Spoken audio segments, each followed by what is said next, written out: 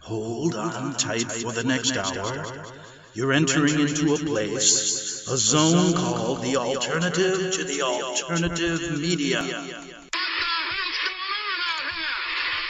It's a place, a special place where even truth seekers fear to tread. All right, people, let's move like we got a purpose. Affirmative. Affirmative. Okay, boys and girls, ladies and gentlemen, welcome back to another edition of the greatest show on earth. I'm Greg Anthony here, the Investigative Journal on First Amendment Radio. Okay, today let's do part two of what I started yesterday, and that was asking the question why in the hell aren't the Vatican and the Jesuits ever held accountable for mass murder and genocides. Then I received an email a couple days ago, and uh, I had mentioned that uh, I had, over the last 15 years, talked about at least 15 to 10, 10 to 15 uh, genocides that the Vatican was involved in. And somebody said, Well, give me one. So yesterday I started talking about the Serbian genocide.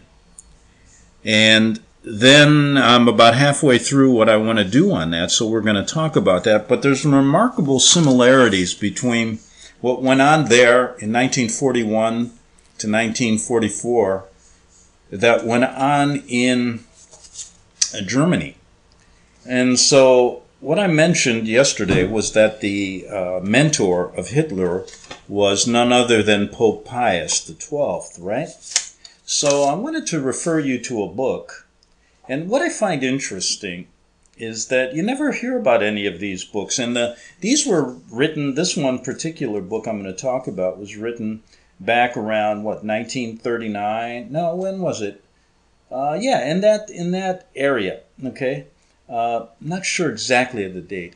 But what I'm trying to get at is a lot of these books that talked about the truth behind what the papacy was really doing in Europe and then in the New World has not ever seen the light of day anymore. Nobody talks about it. And you don't see that many new books coming out because there is basically a uh, suppression of this type of talk anymore. And if you think that the mainstream media doesn't talk about uh, the conservatives in America, they're all the right wing was always complaining about that. That's that's orchestrated.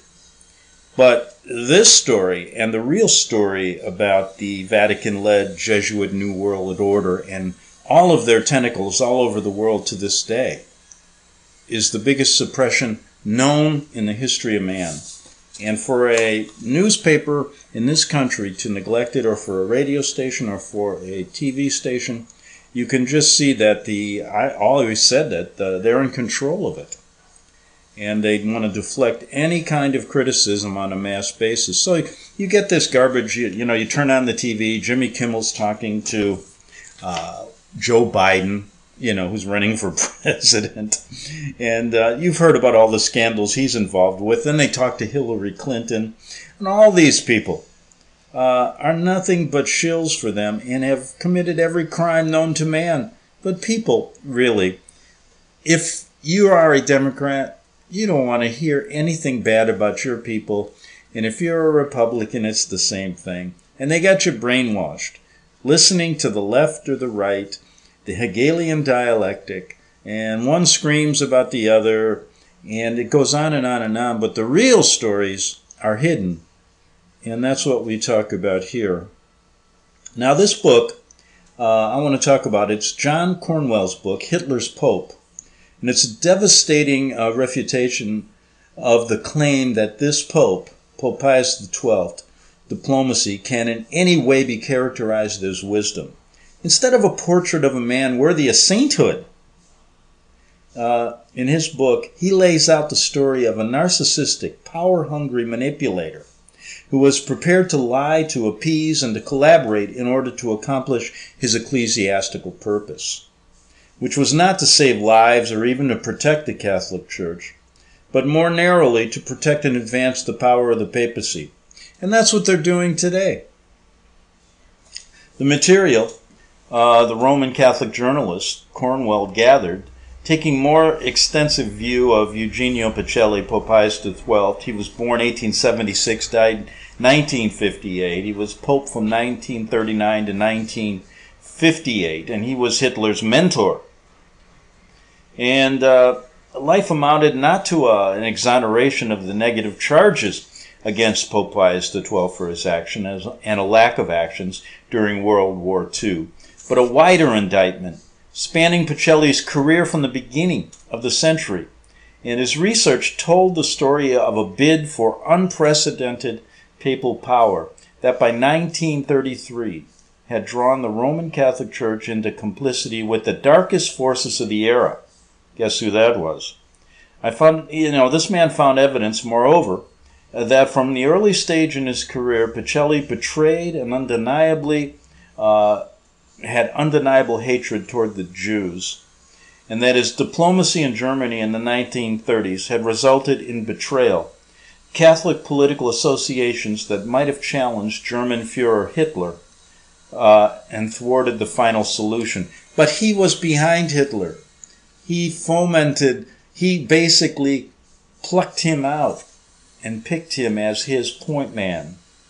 Among the many initiatives in his long diplomatic career, Pacelli was responsible for the treaty with Serbia, which contributed to the tensions that led to the First World War. So he has tentacles all over the place. Remember, I said there's a similarity to what we're going to talk about the Serbian genocide? The genocide here of uh, God. While Serbs Jews and gypsies just happened to become state property like cattle. And 240,000 people were forced into Catholicism. If not, they were killed. and people still do not want to get the real story and listen to this garbage that goes on every day on CNN, on Fox, you name it. And it's just a crying shame because it's never going to change and you're being ushered in to another Vatican genocide, which is going on all over the world to this day. That's why that we America's been in wars all but 20 years of our history. Now, he took a more extensive look and he found this hatred towards the Jews, and that his diplomacy in Germany in the 30s was basically to back Hitler.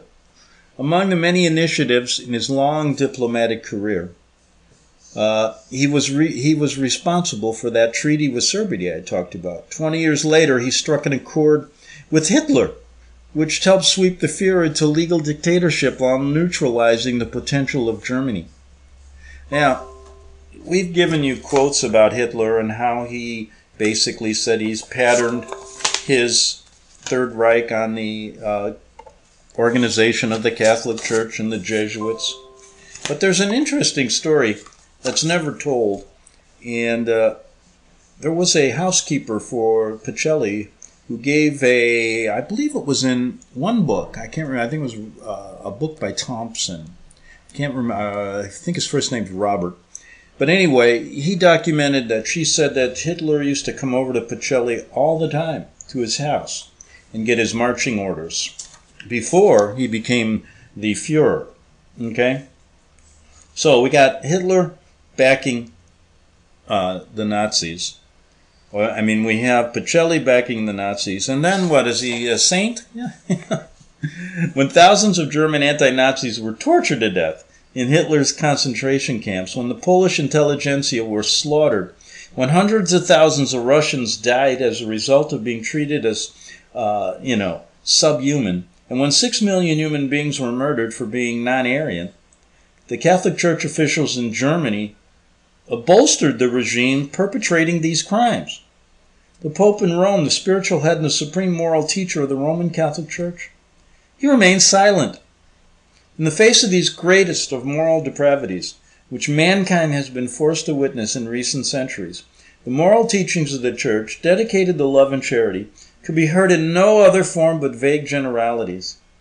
So, we hear still to this day, we have remembrances of the Holocaust, we talk about America being the, the staunch ally of, of uh, Israel. But where is this story?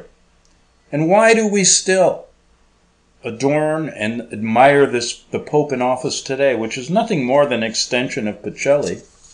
Because, folks, you've been lied to. And our leaders are in bed with these people, literally. Literally in bed. And should we go into the great Saint Pope uh, John Paul II? And what did John Paul II do? He was a person that he when he was Pope, uh, he he was Pope over the greatest sexual scandals in the history of the church and ushered that in. These people are sick. And we still to this day send our kids to Catholic schools.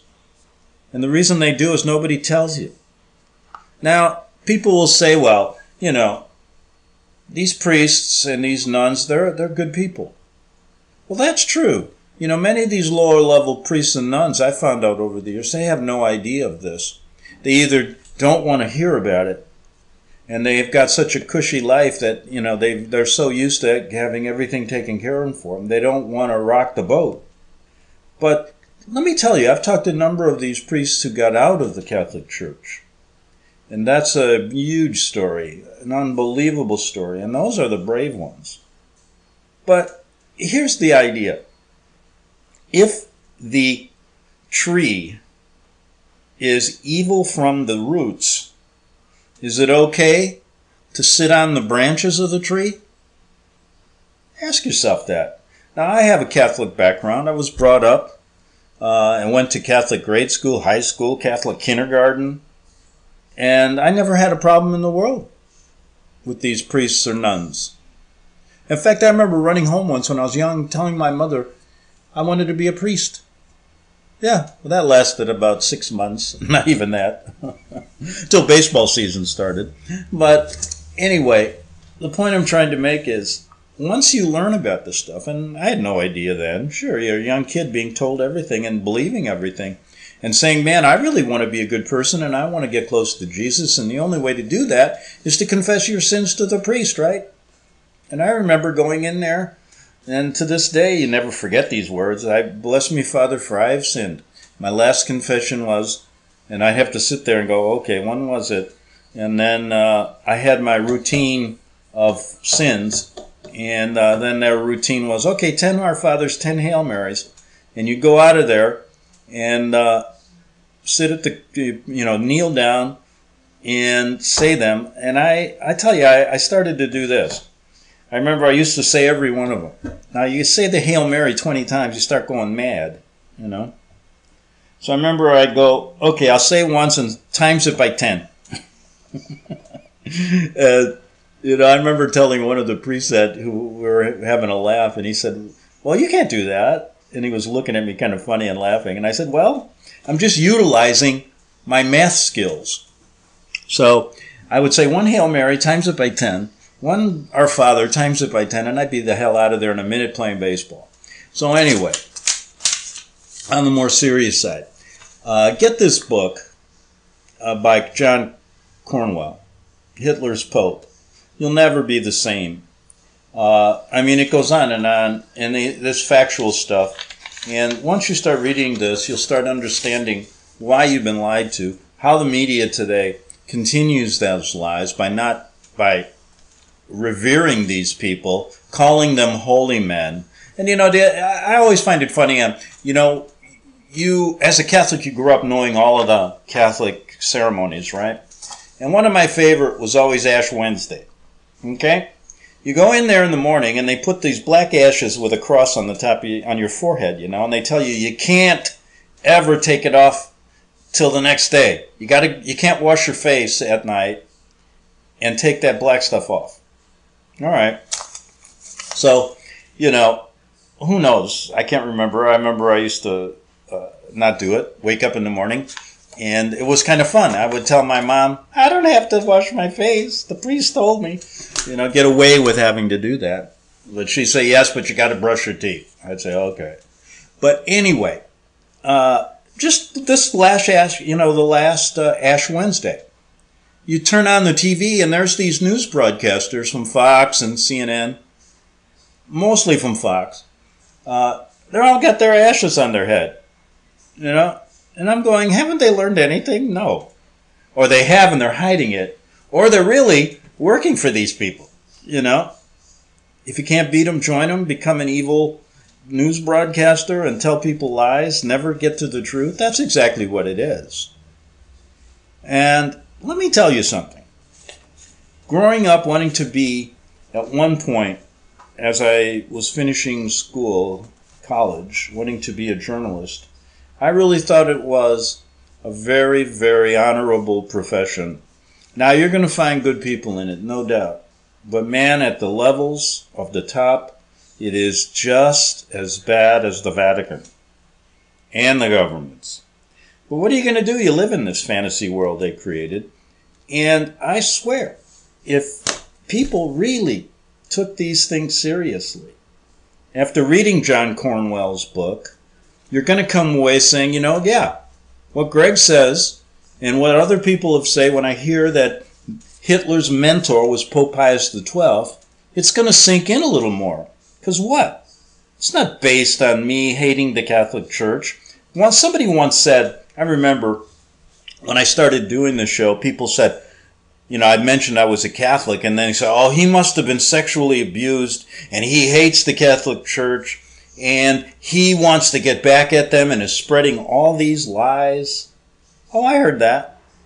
And I said very, very simply, that's not true. I never had one single problem with a priest or a nun. Never. I never even heard about that stuff when I went to grade school and high school, and even in college. I mean, I went to a, you know, state university, but I didn't hear about this stuff really. Living in America as a journalist for a number of years, I didn't even know about it. And I, my job was to find out things. That's how hard it is. And one, and I remember one time I was working in St. Louis, I think it was, and a story came up about the Vatican and all this. And I remember my belief system was so ingrained. I said, "Oh, these people are crazy. They're conspiracy theorists." I said that. Yeah.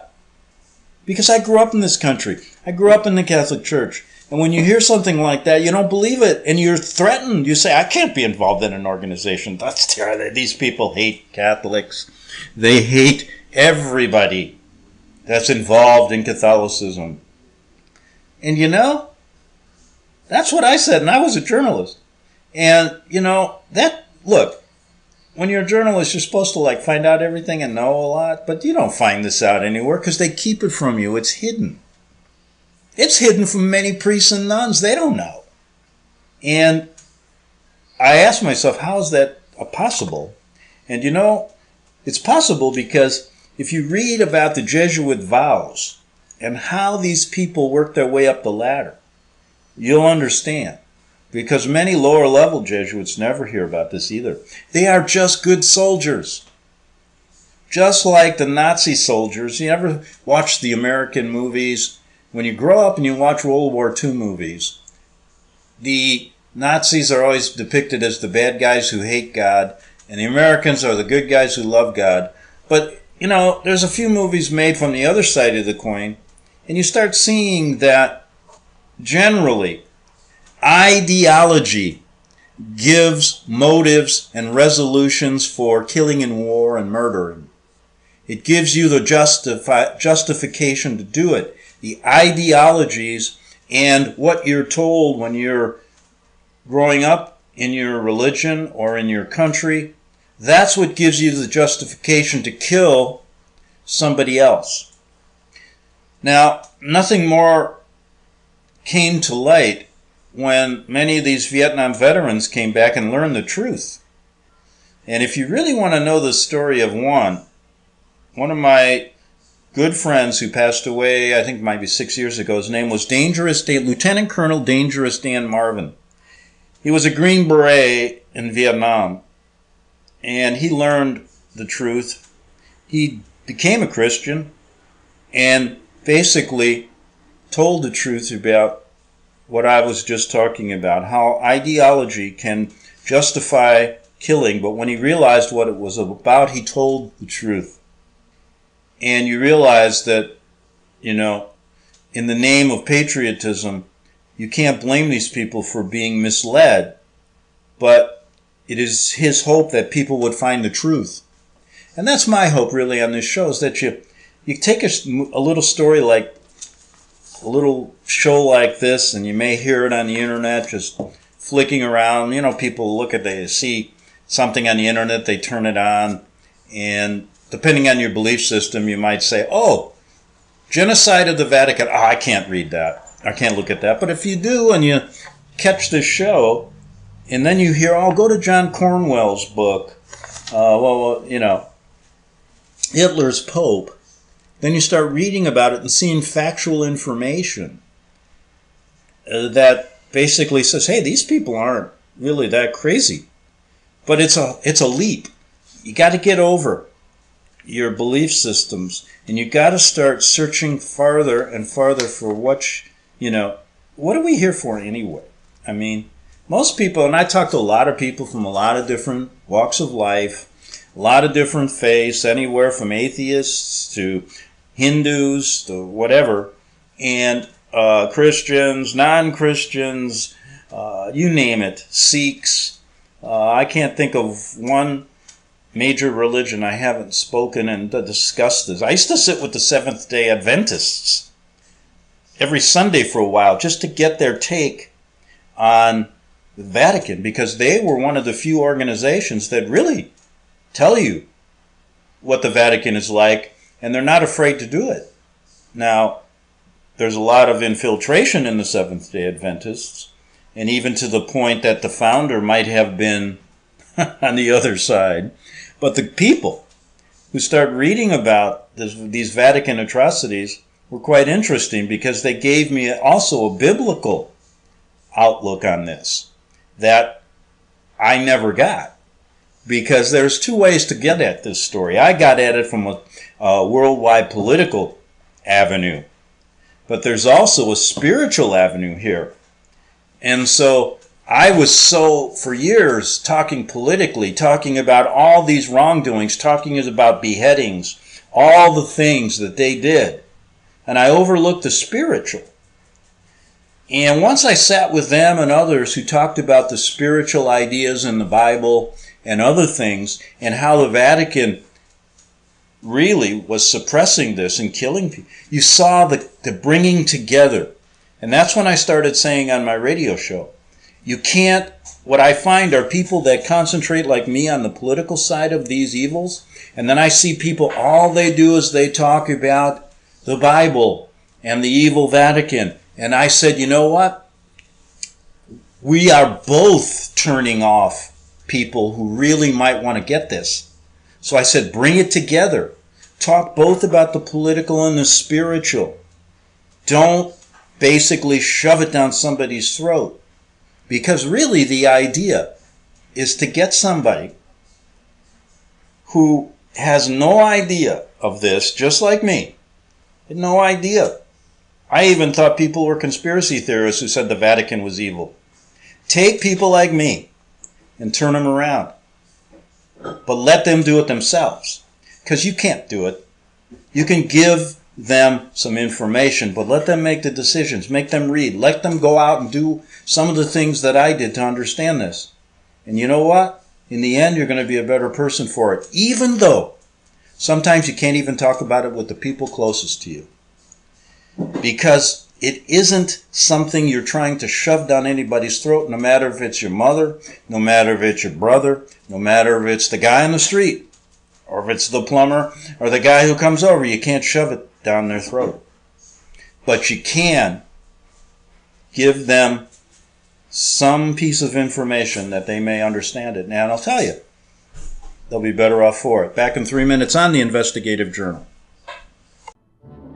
The book of Revelation says, The spirit of prophecy is the testimony of Jesus Christ. This is at the very heart of FirstAmendmentRadio.com. In that spirit, we have created the Prophecy Reality News app for all of your mobile devices, streaming First Amendment Radio 24 hours a day, 7 days a week. Available for your Apple, Android device, and smartphone absolutely free. Get the Prophecy Reality News app installed today. so you can listen to First Amendment Radio wherever you are. The Prophecy Reality News app. Get it now.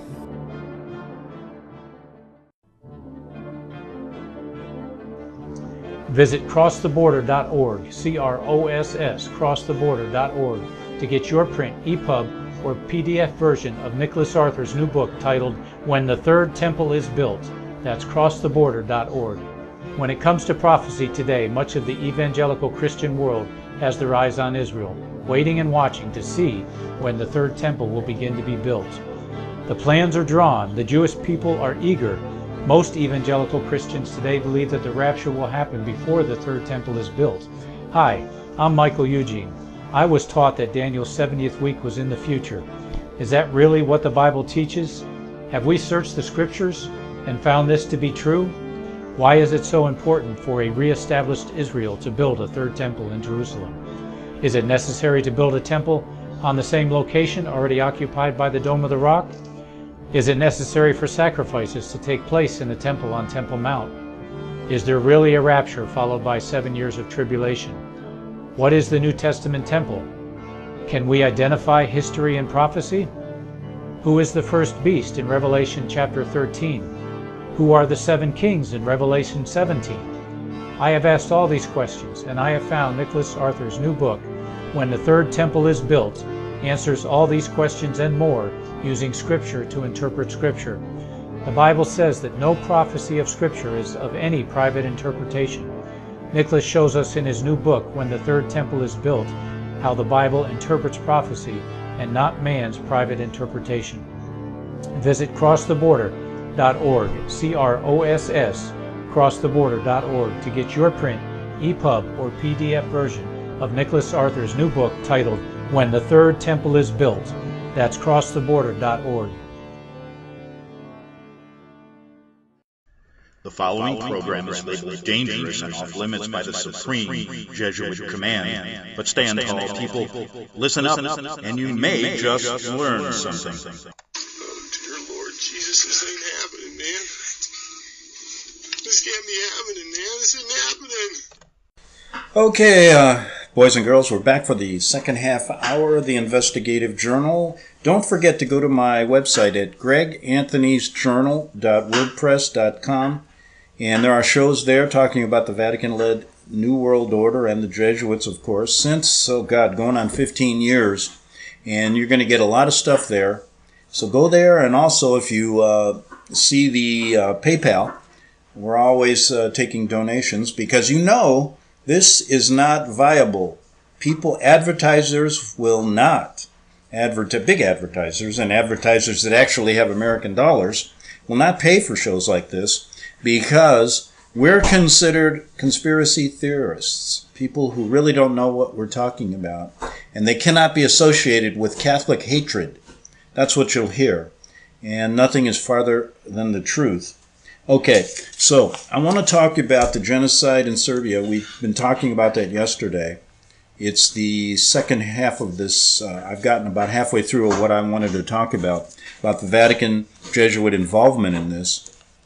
But the last thing I want to mention is don't forget to go to John Cornwell's brilliant book, Hitler's Pope, uh, written still when people could read these stories. And in fact, a journalist back then, Saul Friedlander, uh, wrote this. He said, uh, let's see what he said. He said, uh, get his book, John Cornwell's brilliant book, uh, brought the author authoritarianism and centralization of his predecessors to their most extreme stage, and we know what that was the annihilation of six million Jews with Pope Pius XII's uh, boy, Hitler. Nowadays, he says, we may not know what a saint should be, but we do know what a saint should not be. And he said, a man like this, Pius XII, a man of narrow spirit and heart, a man who could not find at the very least a candid word when millions of human beings from all corners of Europe were being slaughtered, some of them from under his own windows, were led to their systematic extermination. And that last little quote, I did a fact a show on that last little quote, going back maybe five years. And it was interesting because there was a band of Jews in Italy, in Rome, that were rounded up and killed right before the eyes of the Vatican, right under the window of Pope Pius XII, and he did nothing. So you'd say, well, why? And you'd say, well, he was the one that mentored Hitler. He pushed Nazism for a reason, and that was his extreme motives of power to bring power back to the papacy. It's no, it's no uh, coincidence that all these Orthodox Christians were killed in Russia by Stalin. Now, do you know who Stalin really was mentored by? Stalin, if you really look at his history, was born to a rich Catholic family. That's not his name. His name is about one foot long. He was named Stalin. It's translated to the man of steel. And he was educated, very bright, bright kid when he was young, plucked out by the Catholics. He was educated at a place called Tiflis, which was in Russia. It was a Jesuit school. And he became a Jesuit priest. No one really knows about this stuff. And he was picked to head up, you know what. And there's an interesting connection between him and the uh, the boy. This story is it's just coming back to me, and I I tell you, when you start connecting the dots between Jesuit Georgetown University and the Jesuit priest who started the School of Our Foreign Service, which still to this day, you know, pushes out all of our diplomats, okay, our foreign diplomats. And this guy was a Jesuit priest who was sent to Russia under the guise of Catholic human aid to the Bolsheviks. But his main concern was he had a satchel of money from the State Department. He's a spy. And his goal was to convince, was to convince uh, the Bolshevik leaders at the time, Lenin and others, that Stalin needed a place at the top, needed to be one of the powerful people in the Bolshevik movement. Stalin was a bit wary of it, but when he was presented with all this money from the West, so basically here we are funding the Bolsheviks. Stalin was given his push into power by none other than this Jesuit priest. And I'm not going to make it easy for you. Why don't you look up who it is? He was the head of our School of Foreign. He started the School of Foreign Service. He's on President Eisenhower's website still. And when I called Georgetown about him, I said, "How could a low, how could a teacher become get a get a web page on one of our presidents?" I said, "Did he have involvement in? Did he ever go to Mexico and incite a revolution there? Oh, not him. Did he ever go to Iraq and do his dirty work there? No. Did he ever go and deal with Stalin in Russia? No. We don't know anything about that. He was just a he was just a teacher.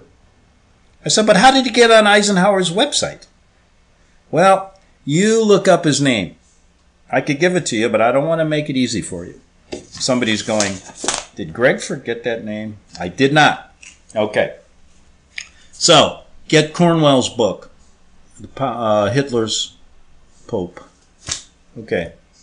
There you go. Now, I want to get into the last uh, part of this show. I want to try to finish. I might not. Got a little carried away.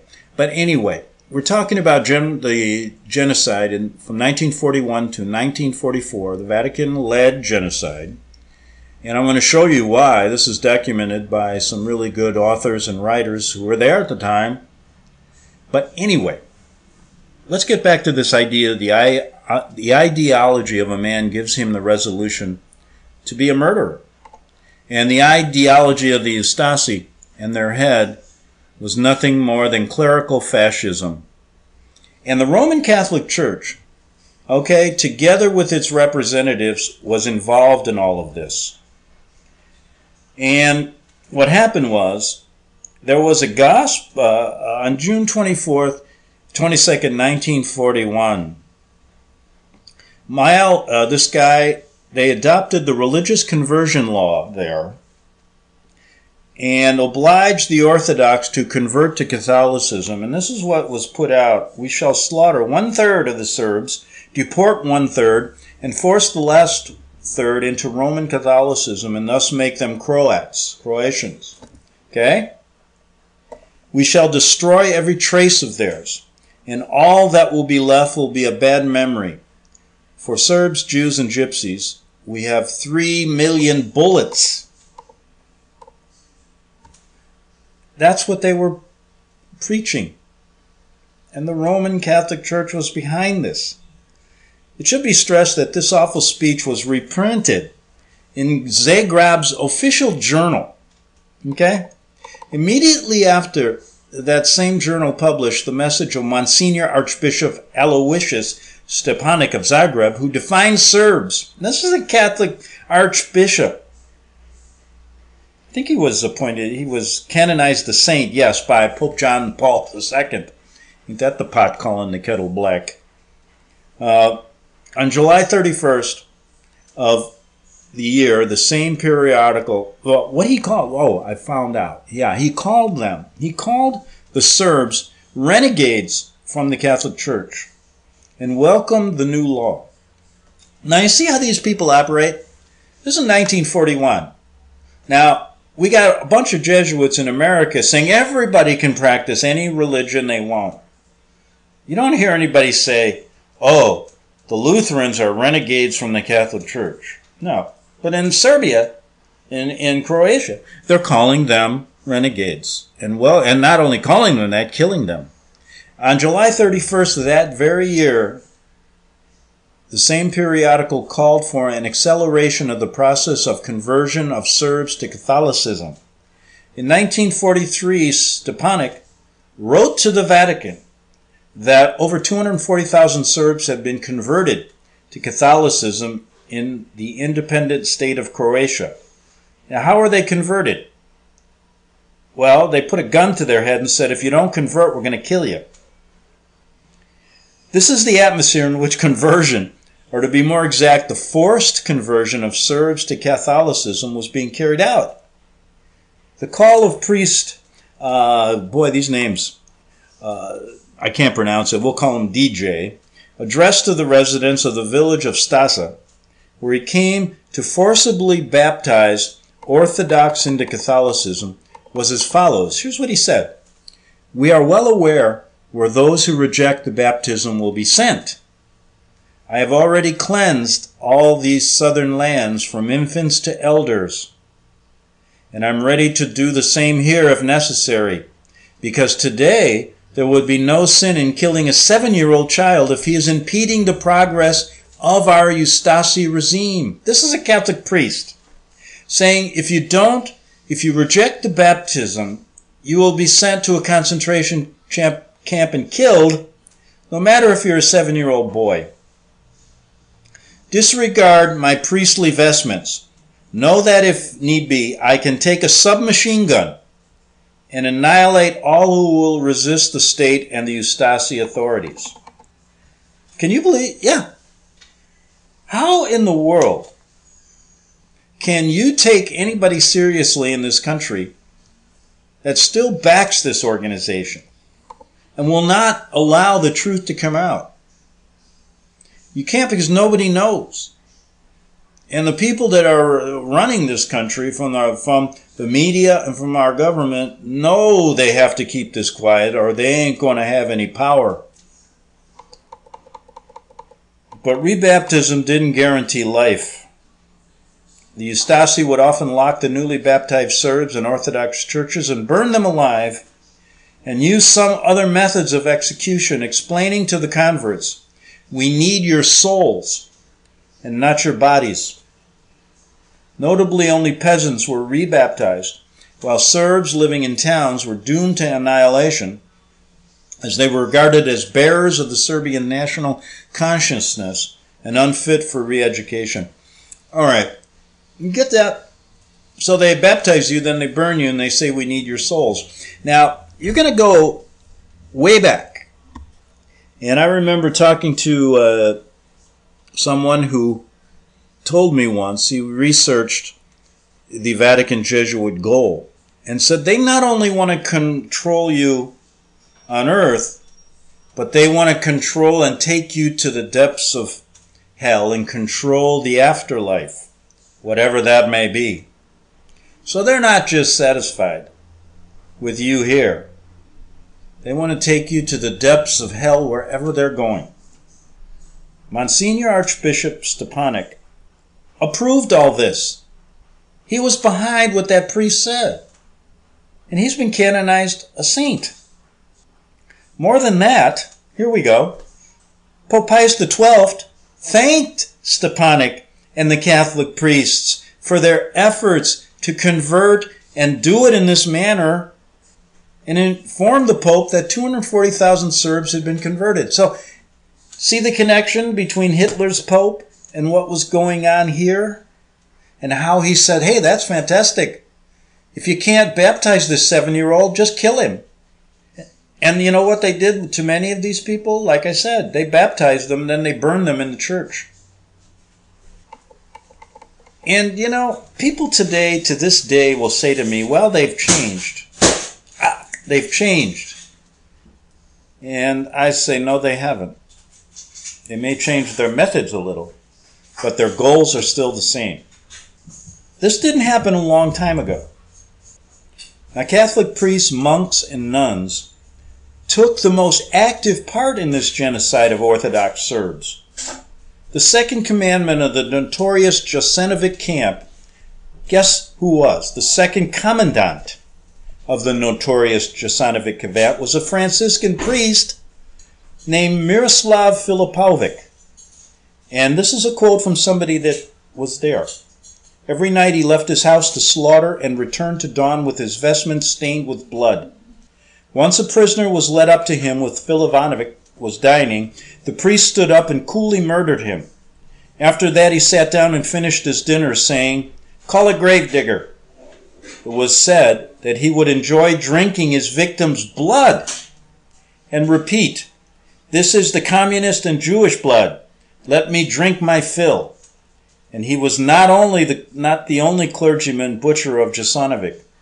There were also the infamous Jasenovac guards, monks, and they got their names here, who would kill the camp prisoners. So, we're not talking about just inciting this. We're talking about actually taking part in this. Now, fast forward to the lawsuit we talked about here on this show many times, the Alperin v. Vatican Bank, where an attorney from the United States brought a case to bring financial reparations to the family members of the victims of Jasenovac, of this genocide. And you know what? None of this got to the light of day. And the great Ninth Circuit Court here in San Francisco decided that the Vatican doesn't do business in America, so you can't bring the lawsuit. What a bunch of horseshit. And you know that what I'm telling you is true, that they are in bed with the same group of killers that did this, these atrocities in Serbia. And they have not changed. The only thing that's changed is this country gives them more cover so they can do this again and again and again.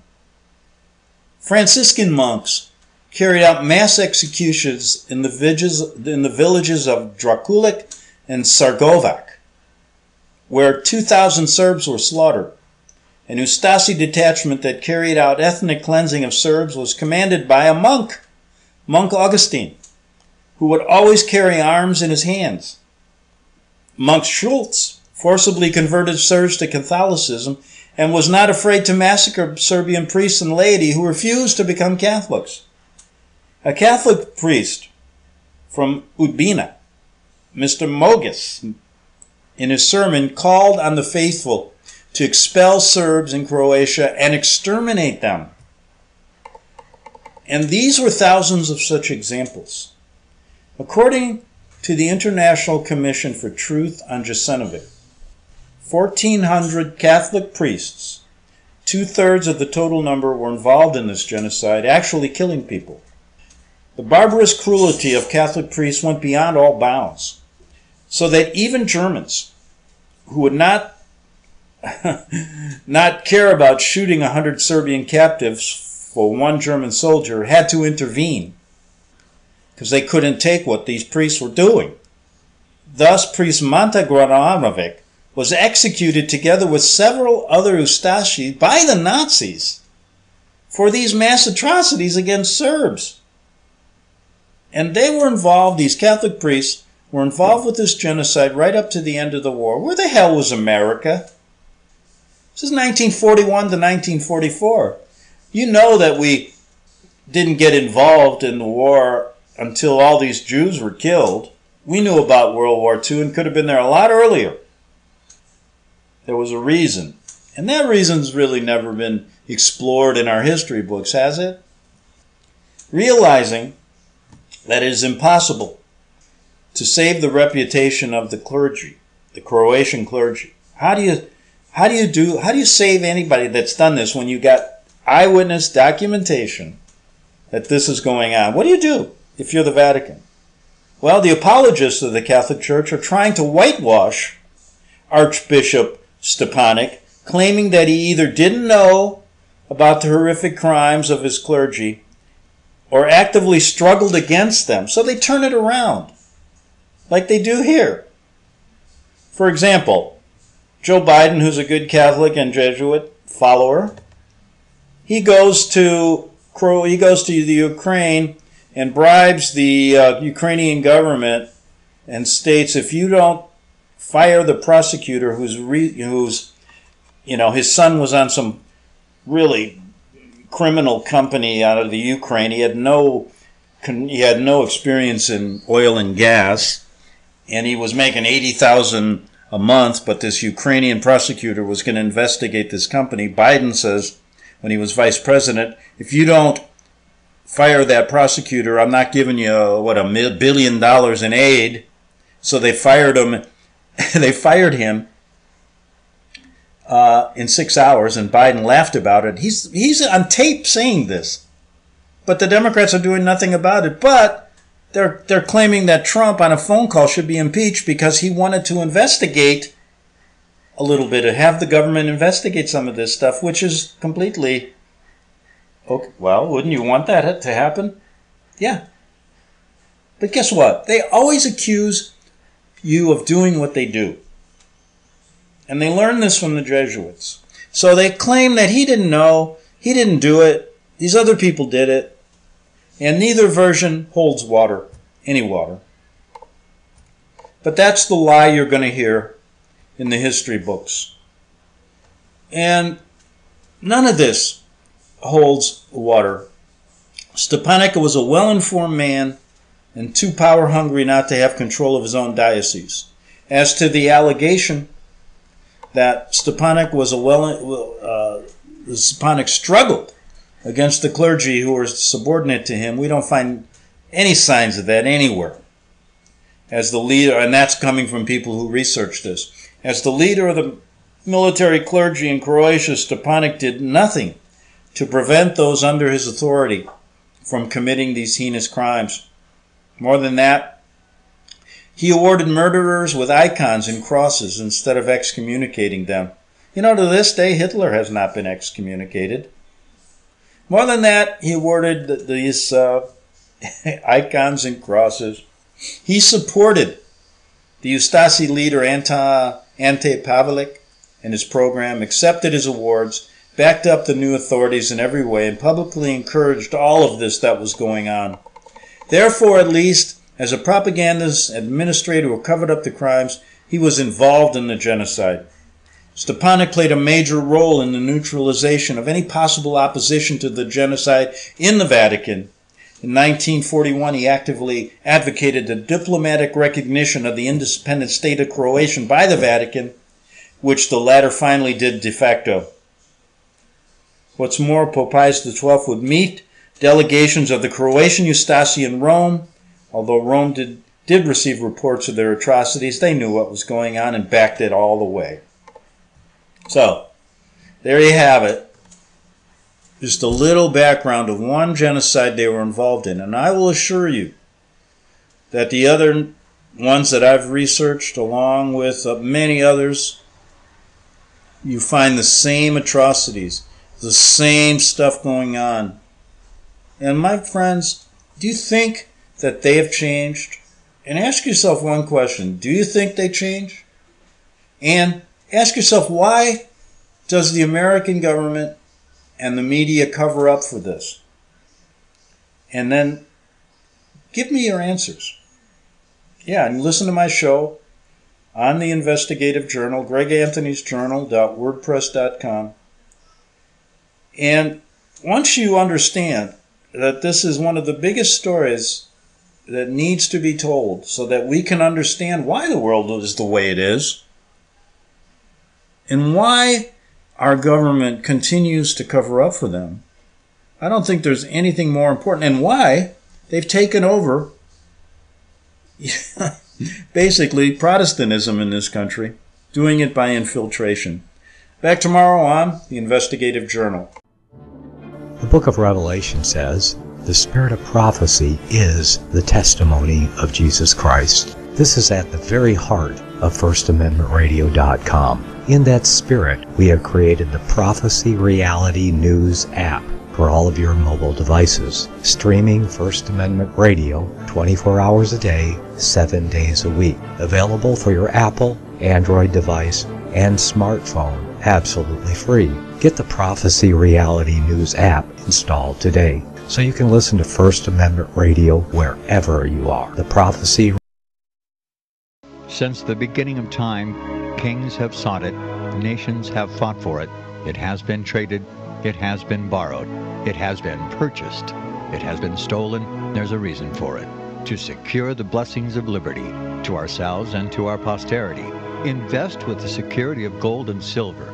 Call Discount Gold and Silver Trading at 1 800 375 4188 or visit discountgoldandsilvertrading.net. Listen to Financial Survival with your host Melody Cedarstrom right here on FirstAmendmentRadio.com at 4 p.m. Eastern or 1 p.m. Pacific Time.